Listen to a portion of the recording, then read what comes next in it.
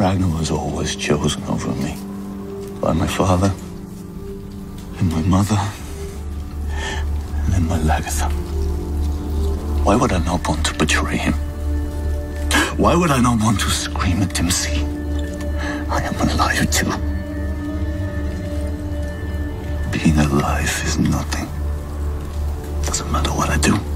Ragnar is my father, he is my mother, he is Lagertha, he is Siggy.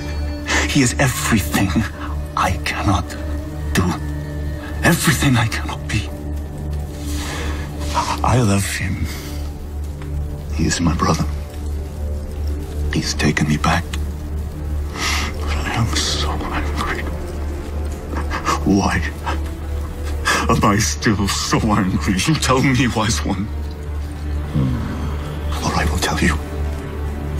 It is because I am useless, hollowed out by failed ambitions, by failed loves.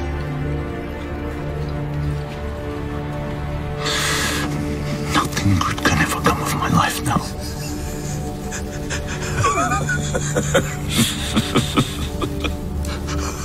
what is there to laugh about?